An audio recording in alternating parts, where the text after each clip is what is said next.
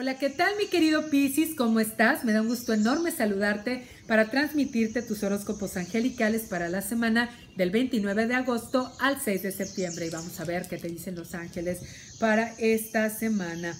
Muy importante, viene mucho movimiento, viene mucha apertura, vienen cosas positivas, viene progreso, viene avance eh, y estos avances tienen que ver con viajes. Te vienen, te vienen avances espirituales, te vienen avances materiales, te vienen avances de todo tipo. Esta semana es muy importante que vayas planificando qué vas a hacer de tu vida porque ya tienes que estar muy consciente de que el paso que des te va a llevar a evolucionar.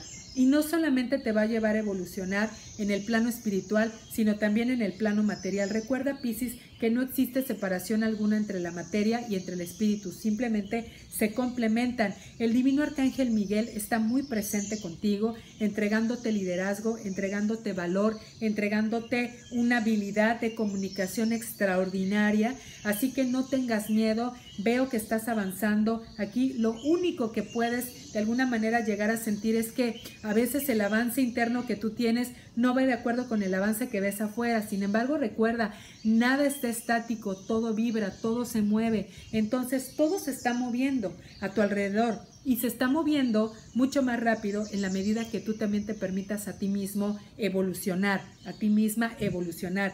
La situación es que no se mueve siempre al ritmo que nosotros queremos. Por el otro lado, hay que resurgir, hay que resurgir de, de entre las cenizas. Te viene mucho crecimiento espiritual. Otra vez es una semana de crecimiento espiritual, de conectarte con nuevas cosas. Piscis, se te está recomendando que además de lo que tú haces y que lo disfrutas mucho, te diversifiques.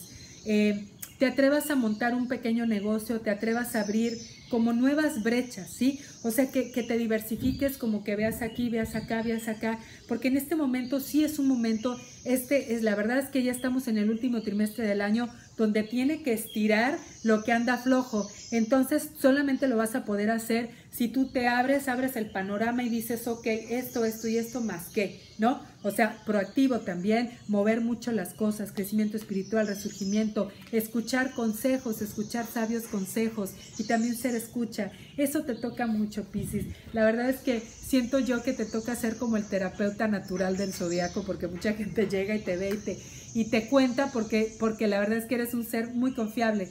Estos son los consejos para ti, nuevos principios, nuevos comienzos, viajes, recorridos, mucho aprendizaje. Yo lo veo muy positivo, Pisces. Así que nos vemos la semana que entra. Te dejo un beso enorme. Somos guerreros, somos magos, somos maestros. Mi amor infinito para ti. Hasta la próxima semana.